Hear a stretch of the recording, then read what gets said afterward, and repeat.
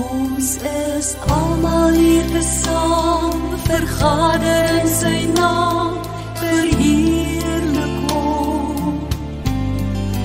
Tot die dood was hy getrou en daardeur is ons nou sy eiendom.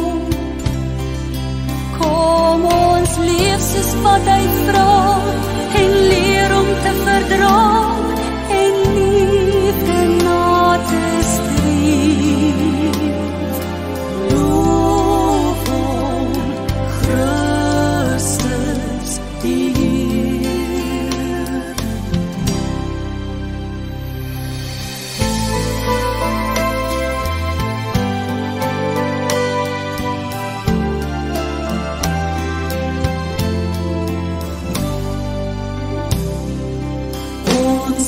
is almal hier te saam, verenig in sy naam,